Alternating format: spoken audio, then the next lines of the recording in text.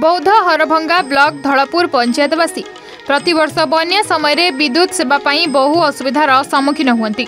अञ्चलवासी बारम्बार प्रशासनको अभियोग क्रमेस शुक्रवार शक्ति विभाग पक्ष